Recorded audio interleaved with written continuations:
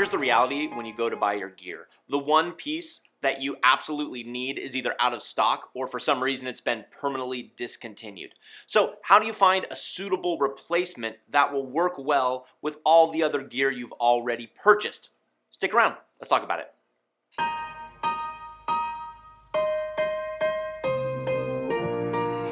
Hey everybody, Matthew here from My First Fish Tank in collaboration with Marine Depot, and welcome to week nine in the beginner how-to guide for saltwater aquariums and reef tank. Last week we gave you two of our recommended build lists for a 20 gallon and a 45 gallon. This video is really a continuation of that, so if you missed it, we will go ahead and put a link right up here and in the description below. But if you watched last week's video, I totally forgot one important thing. If you're gonna make salt water at home with your own RODI water, how can you test the salinity if you don't buy a refractometer? So thank you, Julie Kernahan, for pointing that out. I will put a link to the refractometer I use in the description below. Links to our blog that has both build lists as well as the Marine Depot landing page for the 20 gallon and the 45 gallon build that contains all of the gear you need for each specific build will be immediately below in the description. That's all I got. Let's get to it.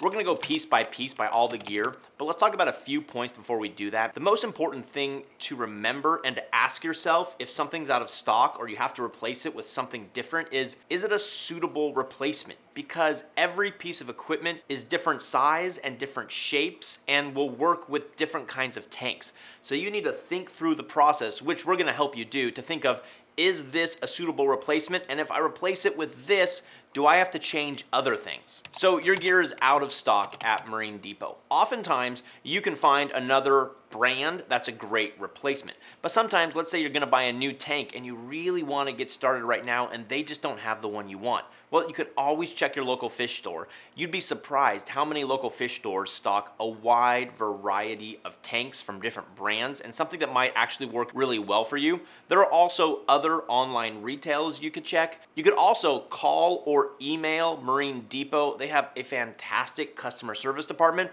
or shoot us an email at contact at myfirstfishtank.com and we're always happy to help. First up, we're gonna start with tanks. Like we mentioned last video, at the time of publication, there have been a lot of issues with the port, so a lot of tanks are out of stock all over the place. But if you're able to find a tank, how would you find a good replacement and what do you need to consider?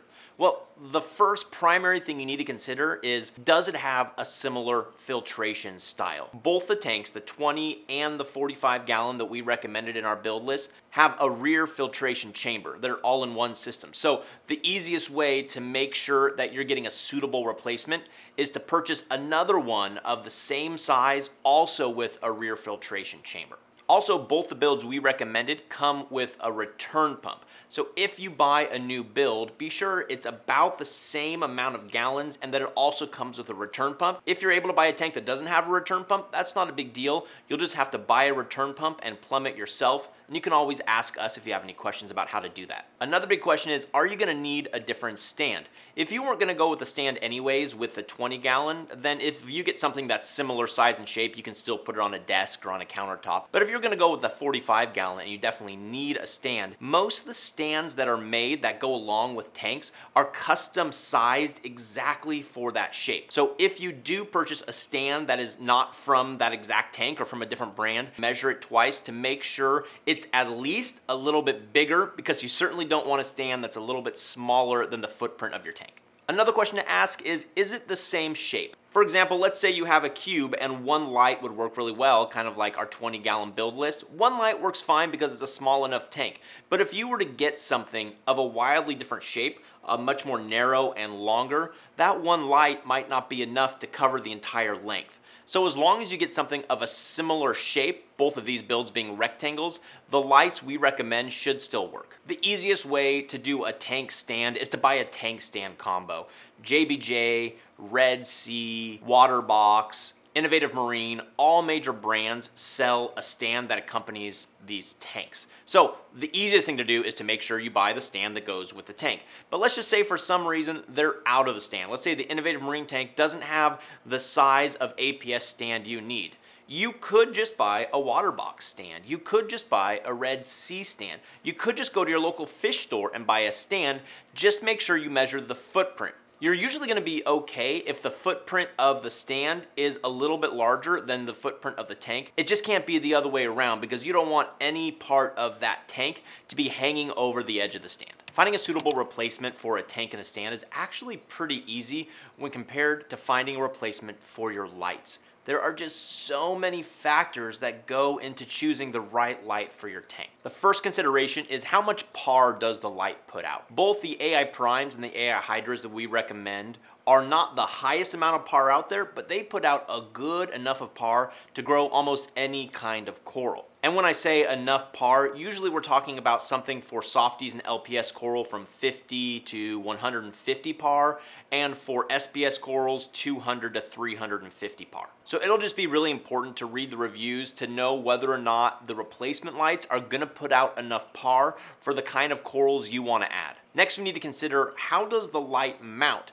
Because you can light a mount with some sort of flex arm that just connects to one point on the tank, like the hydras, the primes we recommend. You can have a mount that is kind of long and rectangular that mounts to both sides of the tank. You can also have a light that is mounted from the ceiling. And if you have a really specific way you want to mount it, the Hydras and the Primes are really cool because you can mount them with a flex arm or they come with a ceiling mount. But if you want to replace those lights, they may not have those mounting options or you're going to have to do some sort of DIY to make it fit. So you just need to think through, are the lights that I am going to buy, will they fit the tank? And did I get the right size light for my tank? Then you got to consider spread different lights spread out differently. Some of them spread out like in really, really wide. Some have a very, very narrow. So it depends on how high you mount your light. Some of them have like a single puck. Like if you look back here, the AI primes have just kind of one circle where all the light comes down and kind of this. Or if you look over here at my Reef Breeders light, it's kind of a long fixture with LEDs throughout, so it goes kind of all over the place and you just need to consider is the replacement going to not only one, cover your entire tank, and number two, is it actually gonna have too much spread where it's gonna spill light all over your room. Then you wanna consider spectrum. Not all lights are meant for reef tanks. There are freshwater lights, there are saltwater lights, and when we're talking light spectrum, we're talking about your blues, your greens, your reds, and coral growth likes certain spectrums, especially on the more blue heavy side. So if you were to get some sort of grow light or a freshwater light, it may look very, very bright, but there might not be a lot of photosynthetic active radiation or PAR contained in that actual light spectrum. So whatever light you find to replace the light that's out of stock, make sure it's of the appropriate spectrum to grow corals. And the last consideration for lights is Wi-Fi controllability both the AI Prime and the AI Hydra have built-in Wi-Fi controllability. You don't need a separate controller, you just connect it to your app and it works. There are a lot of other lights out there that either don't even have Wi-Fi controllability, but they have a controller built into the light and that works totally fine, or there are other lights out there that have Wi-Fi controllability, like my Razor, but unless you buy the controller that accompanies this light, you can't utilize the Wi-Fi controllability. So just make sure your replacement has Wi-Fi controllability if that's important to you, and if it doesn't have Wi-Fi controllability, just make sure you're okay with that. In the unlikely event that they're out of the reef rock you want, there are a lot of other options, but just a couple things to note. First up, make sure you replace it with a dry reef rock. You can't just pick up rock from around your yard, and you can't use rock that's meant for a freshwater aquarium. We'll go into all that in a later video, but just go to Marine Depot, go to the rock section, and there are all sorts of different brands I'm looking at right now. You can get Carib Sea, you can get Aquamax, Marco Rocks, Two Little Fishies. Anything that's meant to be a reef rock will work just fine. The second consideration is shape. The kind of Carib Sea Life Rock that we recommended comes in just kind of standard shapes, and just make sure you get something similar. Yeah, you can buy arches, you can buy Life Rock you can buy branching things, but as a base, you just kind of need your standard Life Rock, and then you can add other things in as well to really aquascape something really cool. Last video, there were a couple really important comments, so we actually pinned a comment to the top saying that we 100% recommend a sand bed for beginners.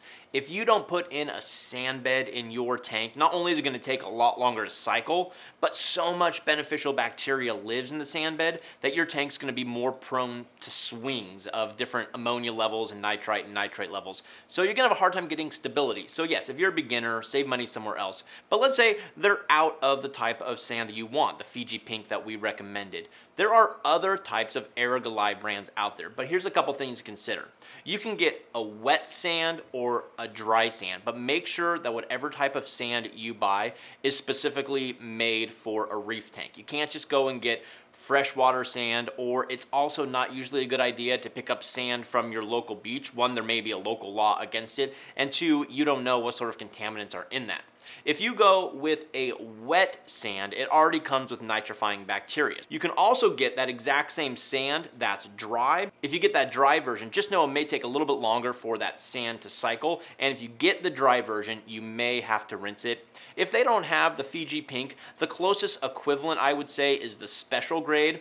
I also really like the look of the Hawaiian Black, but I've used it several times now and some of the pieces are magnetic and will attach to your magnetic algae scraper. So I have had huge scratches on my tanks from using that. Oh, I forgot to mention, I think the Fiji Pink's a 0.25 to 1 millimeter or a 0.5 to 1.5 millimeters. We'll talk all about sand beds later, but if you get a really, really fine, sugar fine sand, it may blow around the tank if you put a lot of flow in. But if you get a really coarse sand, it will also trap a lot more detritus. So something in the middle that's similar to the Fiji Pink is gonna be your best bet. We've recommended titanium heaters for these builds. And the reason we recommended titanium heaters is because they have a smaller footprint and the ones we recommended come with an analog controller.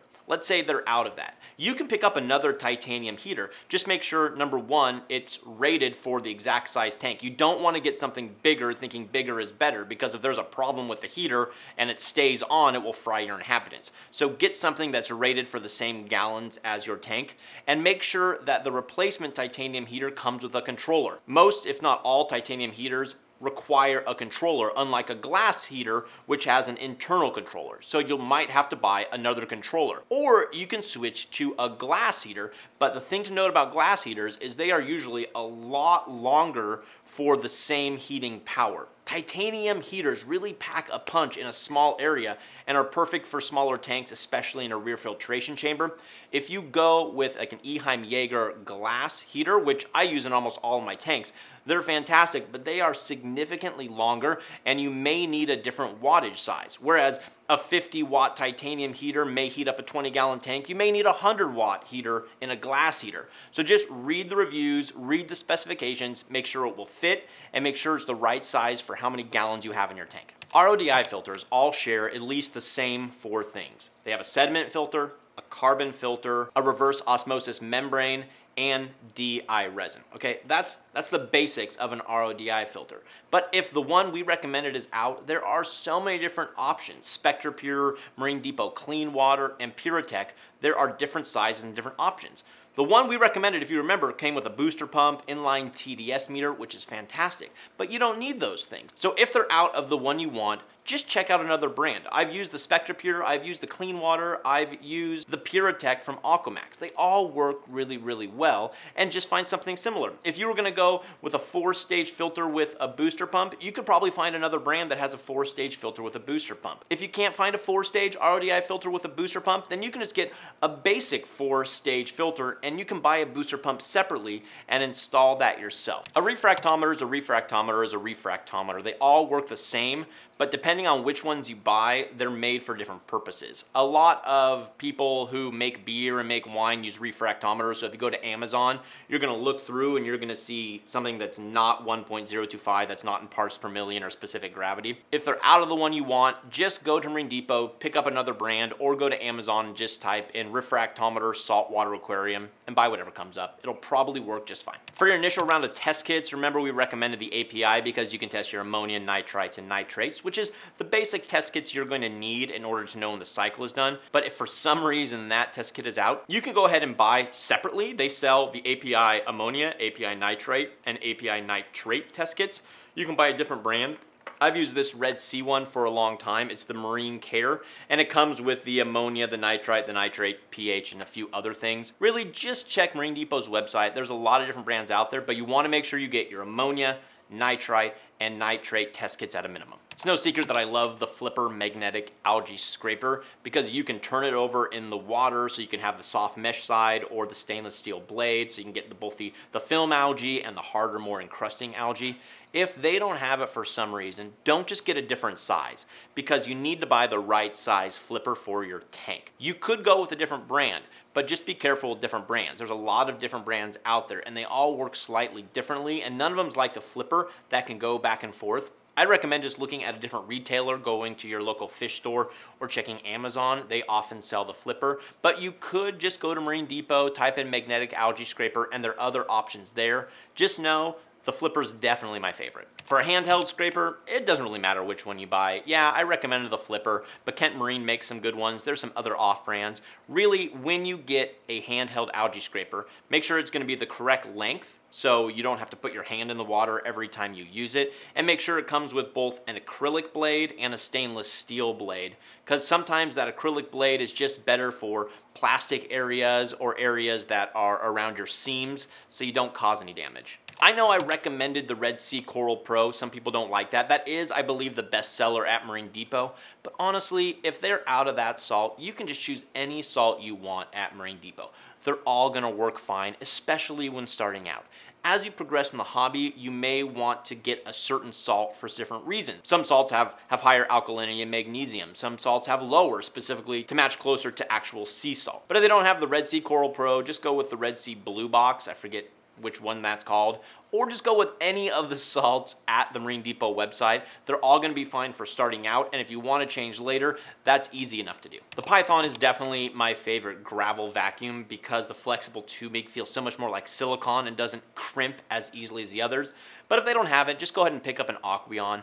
I mean, let's be honest here. It's just a very cheap plastic tube with some flexible tubing. You could probably even make some yourself. A net is a net is a net buy three different nets, get different sizes. If they're out of one specific brand, they're pretty much all the same. Yes, some nets have, have, have larger meshes, some have a tighter mesh, some have longer handles, some have shorter handles, some are, are two inches, some are five inches, some are eight inches. So just buy a few different options and then you'll always have the right one. And honestly, if you've ever had to try to catch a fish, it's really good to have two or three. It's easier to corral your fish to catch them if you need to treat them or move them to another tank. And lastly, if they're out of my smart surge protector that I really like, just go to Amazon, type in smart surge protector. There's a lot of options out there and you may just need to wait a few days for it to come back in stock. You could also buy like the single smart outlets or I know other brands make similar. While they might not have five smart outlets, maybe you could pick up one that has four, which is probably still gonna be enough for most applications. Okay, okay, now you know what to do. Remember, you can always call or email Marine Depot. They have fantastic customer service. You can always email us at My First Fish Tank, contact at My First Fish Tank. We're here to help as well. But next week, all the gear is going to arrive. So we're gonna talk about what to do when your gear arrives, where to place your tank, what to consider when placing your tank, how to do leak testing on your tank, and how to level your tank. So by the end of next week, you will be able to have your tank set up. Nothing in it yet, but at least you'll have it set up and be able to start getting excited. Thank you guys for watching. If this was helpful, give it a thumbs up, subscribe to Marine Depot and to My First Fish Tank, and as always, happy reefing, be well. We'll see you next week. Take care, everybody.